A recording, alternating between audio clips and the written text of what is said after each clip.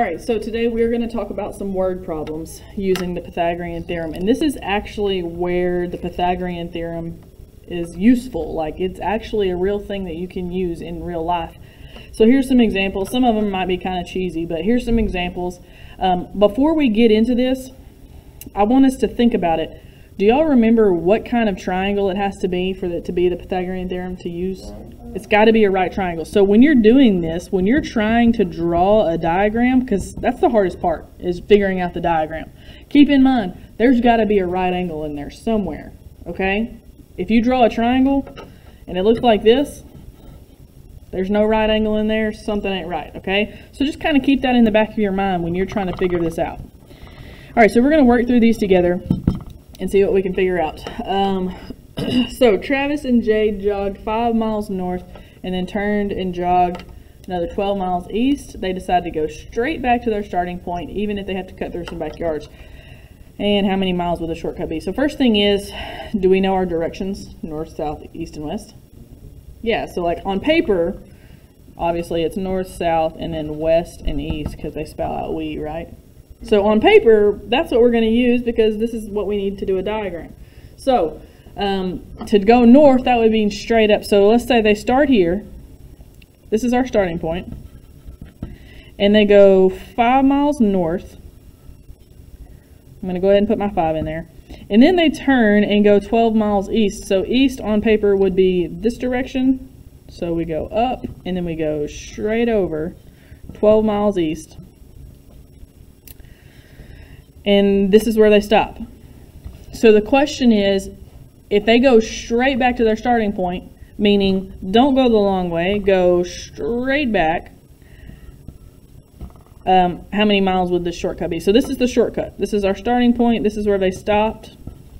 If we went straight back, how long would that be? So, can you see the right triangle in this? Where would the right angle be? Up here, right? Because if you go north and then east, you're turning exactly 90 degrees, basically. So there's my right angle, and that's important. Why do we need the right angle?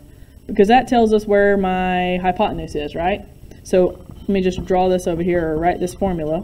By the way, you'll have to have this formula memorized for the test, but most of us probably already have it memorized. So on this diagram, which one is my C? With the question mark, right? That's what we're trying to figure out. So that means the other two numbers are A and B. And does it matter which one is which? It doesn't matter, does it? So I'm going to do A for 5 and B for 12.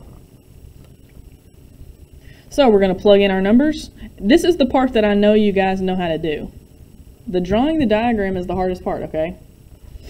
So let's pl plug it in. 5 for A, 12 for B, and C I'm going to leave as C. That's what I'm trying to figure out. Okay, what do I do here? What do I do next?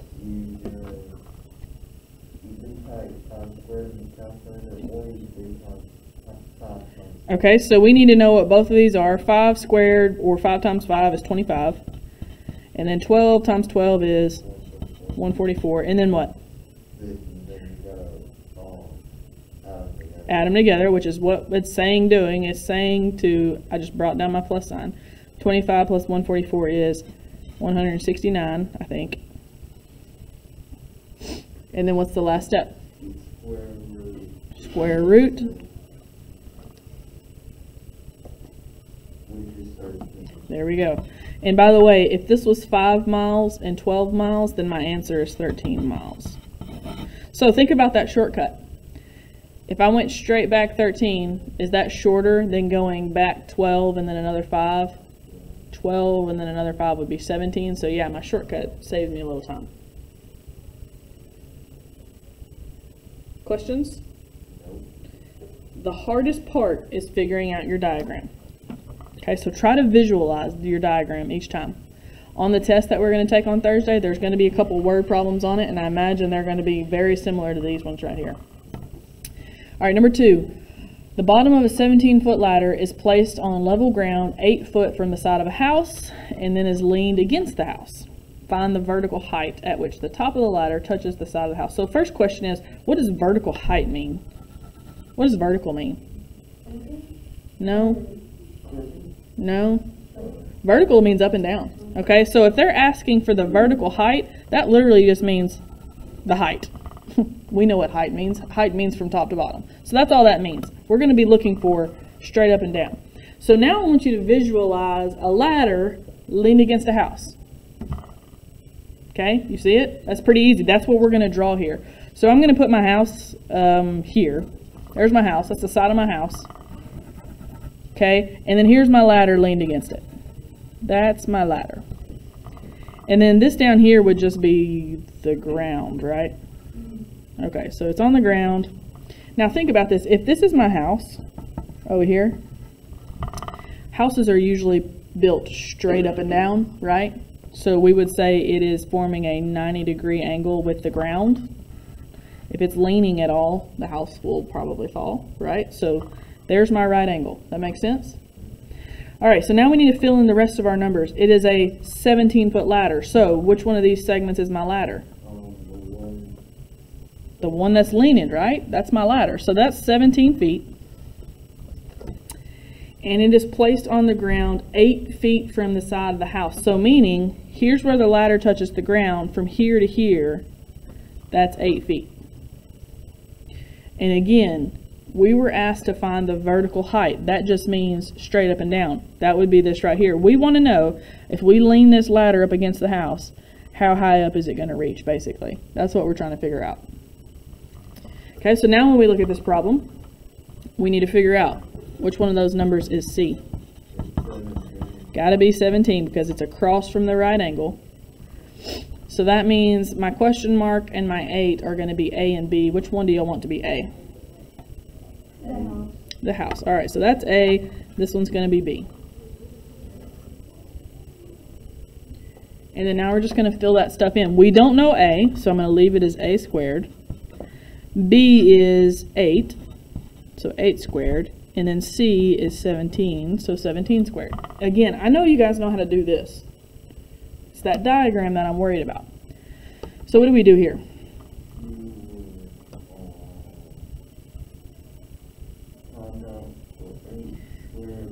Okay, so we need to find out what both of these are. So 8 squared is what? Sixty-four, 64. And 17 squared. Really? Did you know that one or did you already do it? I'll tell you about it. Okay, I'm going to bring this stuff down. Now what? Well, they're together, so you add, Can you add these? oh, I mean, you line. You subtract. Since you can't add these together, you instead subtract the 64. That gets rid of it. Okay, I brought down my a squared. Let's see, 289 minus 64 is 225. And what's always my last step? Square root it. And that should give us what? fifteen. 15 feet. Since 17 was in was 17 foot ladder, 8 foot feet from the house, this is 15 feet.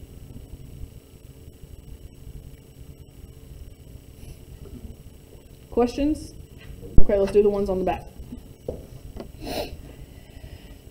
To get from the truck to the deer stand, you must take a trail that goes around a pond. The trail goes 34 meters south and then 41 meters east. If you could just go straight through the pond, how many meters would it be? Again, the hardest part is the diagram. So think, we need a right triangle. That's what we're talking about these last few days, right triangle. I'm going to start with my trail.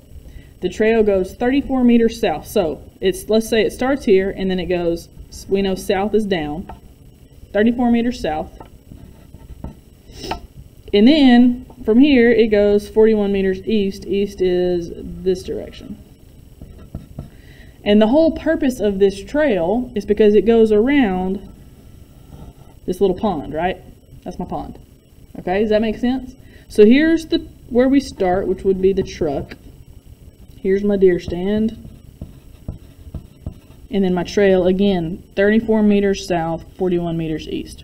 The question is, if you could just go straight through the pond, so instead go this way, how long would that be? So can you see where the right angle is? It would be this, right? Because you went south and then east, that's 90 degrees there. Okay, so we want to find that length right there, which one is my C? Yeah, through the pond, right? The question mark. So this is my C. That makes these A and B. I'm going to give you guys a minute to finish solving this one by yourself. I know you know how to do this part. All right, let's start going over this one. So in my formula, A squared plus B squared equals C squared. We're using 34 for A, 41 for B, and C is what we are looking for. So it's going to stay a C. All right, you can do these one step at a time or you can just do them all together. Doesn't matter to me. 34 squared is 1156. 41 squared is 1681. And then we add those together, right? That gives me 2,837. And what's my last step? square root. Always square root. And I think this one gives us a decimal. It does, that's okay. It didn't tell us where to round, so let's just do two decimal places. So what should the 6 do? Stay or go up? It should stay because what's after the 6? A 3. So this is approximately 53.26. What units were they? Meters. If only we could go through the pond.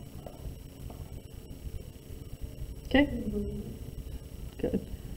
Question? and, uh, the one you don't know is C, it has to be bigger than the other two. Exactly. That's a good. That's a good point. C is always bigger than the other one. So is 53 bigger than 41 and 34? So we probably did it right. That was I, good thinking. I forgot about that. All right, last one here. A computer monitor is listed as being 19 inches, and this distance is actually the diagonal distance across the screen from one corner to the opposite corner. I'm going to stop right there. Do y'all know what diagonal means? That means slanted, right? So diagonal would mean like from here to here. Okay, now did you know that TVs, when they say you have a 48 inch TV or a 52 inch TV, that's talking about diagonally. It's not actually 52 inches this way, it's diagonally. For some reason, that's how they measure TVs and apparently how they measure computer monitors. So if they say it's a 19 inch computer monitor, they're talking about diagonally, it is 19 inches across. It says if the screen measures 10 inches in height, what's the actual width? So first of all, what shape is a computer monitor going to be? Square or rectangular, right? So I'm going to start with that. There's my computer monitor. And then I'm going to try to fill in some information. First of all, 19 inches is the diagonal distance. So I'm going to fill in a line right here. That's what they measure. That length right there is 19 inches from top corner to the other bottom corner.